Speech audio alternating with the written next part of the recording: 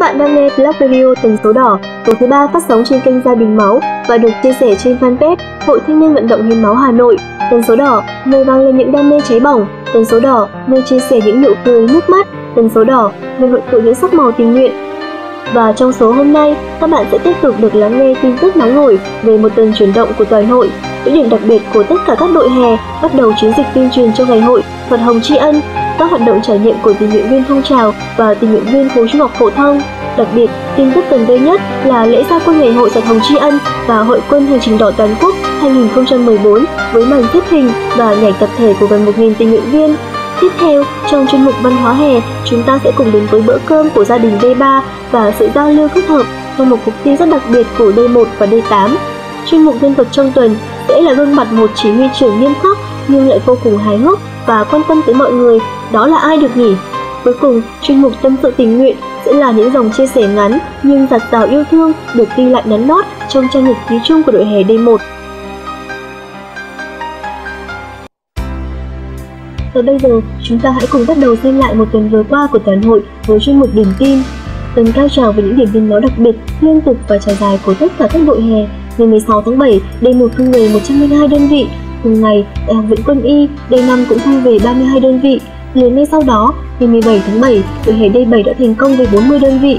Tổ chức trong hai ngày 18 và 19 tháng 7, D2 đã thu về 144 đơn vị máu. Cũng trong hai ngày đó, D4 đã thu về 109 đơn vị. Ngày 19 tháng 7, D3 cũng tổ chức thành công điểm và thu về 45 đơn vị. Ngày 20 tháng 7, mặc dù thời tiết mưa nắng thất thường, nhưng D8 cũng đã thành công với 94 đơn vị máu. Song song với các hoạt động tổ chức điểm, trường điều phối viên các khu vực cũng đã có một tuần hoạt động hiệu quả, triển khai lịch hoạt động bổ ích cho các tình nguyện viên phong trào cũng như tình nguyện viên khối trung học phổ thông.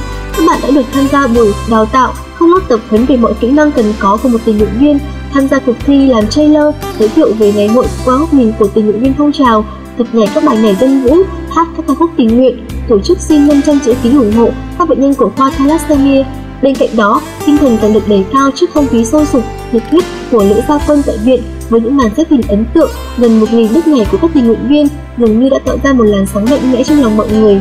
Trong lễ gia quân toàn thể hội trường còn được chứng kiến lễ ký giao ước thi đua của chín đội hè với 3.650 đơn vị máu và 3.550 tình nguyện viên phong trào.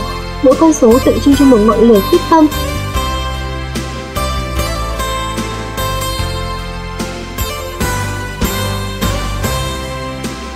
Lễ gia quân còn có sự góp mặt của Hoa hậu bùi Nguyễn Thị Loan và nam ca sĩ Việt Tú. Sự quan tâm, đồng hành cùng chương trình của những người nổi tiếng cũng có một phần không nhỏ vào thành công của chương trình. Tin tức về lễ gia quân vừa qua cũng đã khép lại chuyên mục điểm tin tuần này và tiếp theo chúng ta sẽ cùng đến với những nét đáng yêu trong văn hóa của các đội hè. Một mùi thơm ngào ngạt khắp không gian khu nội trú của D3, phải chăng đã tới giờ ăn cơm hay đó còn là vị của yêu thương Bữa cơm gia đình, nên người dân Việt Nam, đó là linh hồn của sự yêu thương, nuôi dưỡng tâm hồn con người, tạo nên tình cảm gắn bó giữa các thành viên trong gia đình. Đó cũng là lúc một gia đình có thể quây quần bên nhau. Đúng như vậy, những bữa cơm của gia đình B3 luôn ấm cúng, luôn tràn đầy niềm vui và tiếng cười, với những món ăn lạ và độc đáo chỉ có ở B3. Khi tất cả cùng nhau ngồi xếp thành một vòng tròn quanh mâm cơm, vì gia đình ấy đã cùng đi những khó khăn sau ngày dài tuyên truyền trong cái nắng gắt của những ngày hè oi ả, đôi khi là những cơn mưa bất chợt để chuyển mình của mùa hạ. Tiếng hát trước giờ cơm theo truyền thống của hội đã giúp xua tan mệt mỏi và mang lại cho những tình nguyện viên, tuyên truyền viên, những người anh em của chúng tôi một nụ cười khát khao muốn làm tình nguyện và biết yêu thương.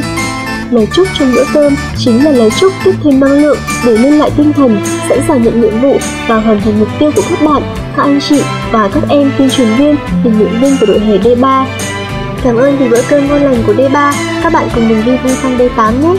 Trời cũng sẩm tối rồi Mà sao không thấy bóng dáng một ai vậy? À mình biết rồi. Hôm nay các bạn D8 đã cùng sang giao lưu với D1 đấy. Trong tuần D8 và D1 không chỉ tiếp tục hỗ trợ nhau tổ chức điểm hiến máu thu được nhiều thêm những đơn vị máu quý giá đóng góp vào ngân hàng máu hè mà đặc biệt về văn hóa D1 và D8 cũng phối hợp tổ chức giao lưu cuộc thi cặp đôi hoàn cảnh hè 2014 dành cho các cặp đôi được kết cặp nam, nữ hoán đổi giới tính, diễn ra trong hai buổi tối thứ tư và thứ sáu, ngay sau khi kết thúc điểm hiến máu của D1 hai đội hè cùng ăn cơm và tổ chức thi cho các cặp đôi những tài năng cây nhà lá vườn có dịp thể hiện và tình bạn của hai đội hè như thêm gắn bó qua những tiếng cười sảng khoái, tiếng reo hò cổ vũ sau một ngày hoạt động điểm kéo dài.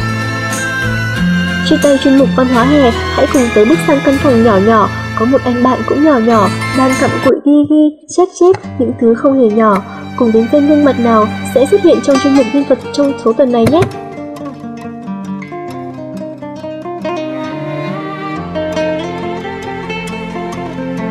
Mọi người vẫn thường nói, đằng sau sự thành công của một người đàn ông luôn có bóng dáng của một người phụ nữ.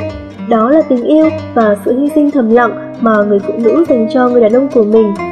Cũng giống như đằng sau sự vững mạnh của một tổ chức luôn là những hy sinh, những cống hiến thầm lặng và biết đau chăn trở của người thủ lĩnh.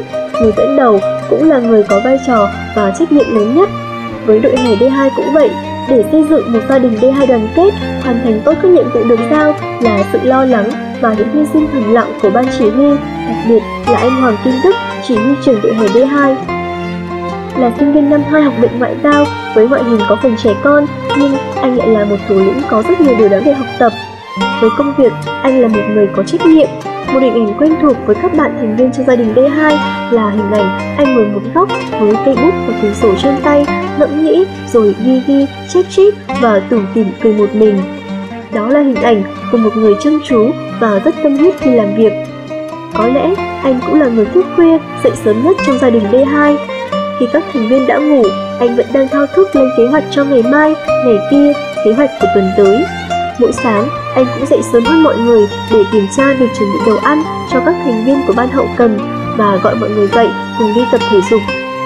Anh cũng là một người anh rất quan tâm đến các thành viên, làm đúng vai trò của một người anh cả trong gia đình.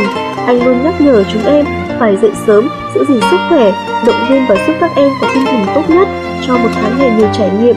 Nhưng anh cũng là một người anh rất nghiêm khắc, anh đưa ra những nội quy và những hình phạt với nhiều cấp độ khác nhau. Trong các buổi họp giao ban, bên cạnh bàn công việc, anh còn nhắc nhở các thành viên về cách ứng xử, thái độ và chia sẻ kinh nghiệm bằng tất cả những gì mình đã trải qua trong gần 2 năm hoạt động hội. Trách nhiệm, tình cảm, hài hước và nghiêm khắc là những gì mà các thành viên trong gia đình D2 cần nhận được từ vị trí vị trí huy trưởng của mình, như lời chia sẻ của một thành viên. Mới vào hoạt động này được năm ngày thôi, nhưng thấy anh làm việc rất trách nhiệm, lo bao nhiêu việc mà không thấy anh mệt bao giờ. Đêm nào cũng thấy anh ngủ muộn, anh ngủ muộn nhất, anh lại không bao giờ ngủ trưa. Dù có làm gì đi nữa thì cũng nhớ giữ gìn sức khỏe anh nhé. Một gương mặt rất ấn tượng đúng không nào? Và mình nghĩ không chỉ có Đức đâu mà tất cả chỉ huy trưởng cũng như ban chỉ huy của chính đội hè đều là những gương mặt sáng giá và để lại trong lòng tình nguyện viên những ấn tượng đặc biệt. Ba tuần trôi qua rồi, kể từ những ngày đầu vào ở nội trú, cảm xúc sao mà dạt vào mà đầy áp đến như vậy. Và trong chuyên mục tâm sự thí nghiệm ngày, ngày hôm nay, mời các bạn cùng lắng nghe những dòng chia sẻ ấm yêu thương được nắn nót ghi lại trong cuốn nhật ký chung của đội hè D1 nhưng trước hết, chúng ta hãy cùng lắng nghe một ca khúc rất hay, ca khúc Hát mãi khúc cân hành, hè ca của đội hè D9.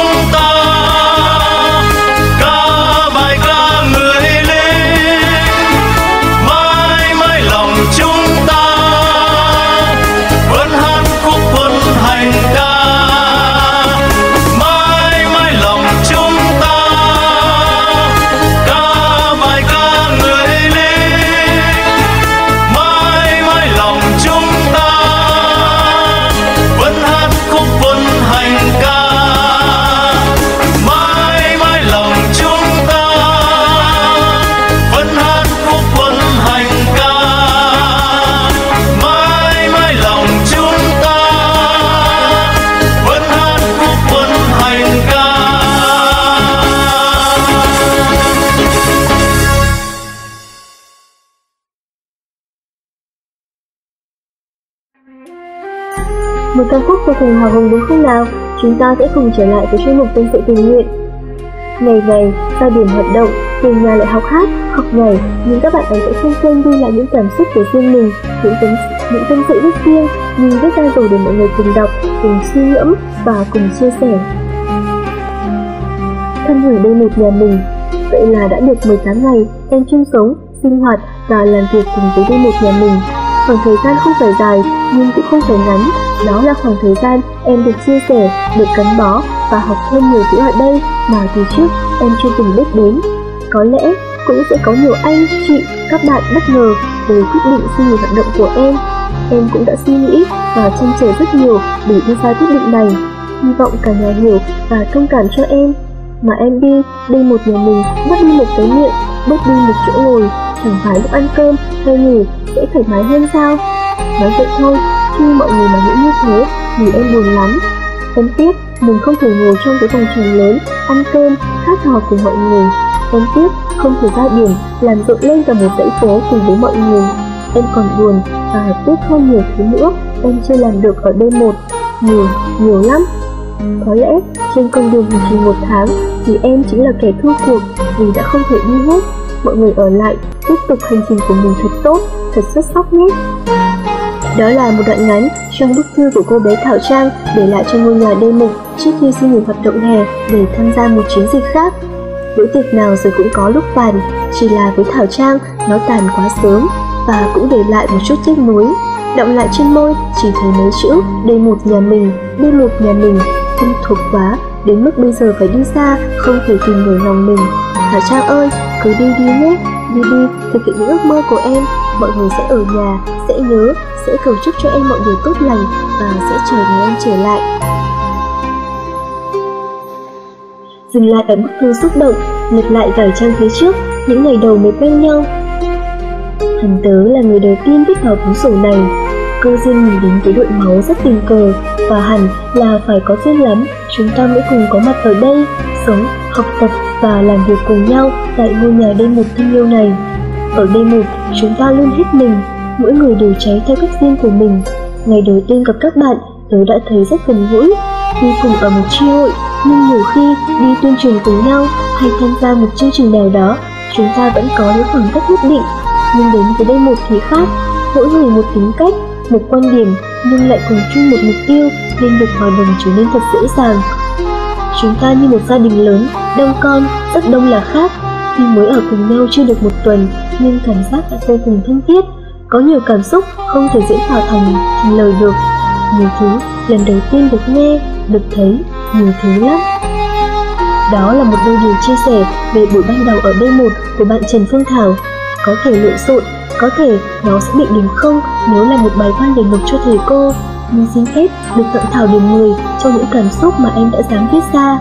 Mỗi người, chắc hẳn ai ai cũng có cho riêng mình một cuốn nhật ký. Có người giữ nó trong lòng, không bao giờ thổ lộ. Có người gửi nó vào mỗi câu chuyện vui kể hàng ngày. Có người viết thành dòng, thành chữ. Có người lại chọn cách im lặng. Nhiều cách thể hiện nhưng đó vẫn gói gọn trong hai chữ cảm xúc mà cảm xúc thì thiên thiện thiêng liêng lắm chân quý lắm nên dù có như thế nào thì hãy giữ lại thật cẩn thận đó chính là những tài sản quý giá và không ai có thể cướp đi được Vâng, những chia sẻ trong chuyên mục Tâm sự tình nguyện đã khép lại nội dung blog radio tần số đỏ ngày hôm nay.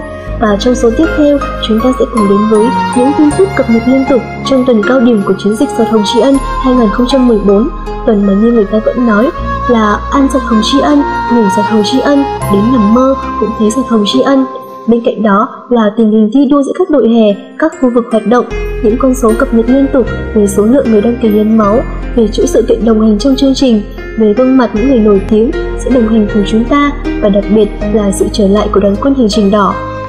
Chắc chắn sẽ là một tuần bận rộn với nhiều tin tức đáng chú ý. Rất mong nhận được sự quan tâm của tất cả các bạn. Còn bây giờ thì xin chào và hẹn gặp lại!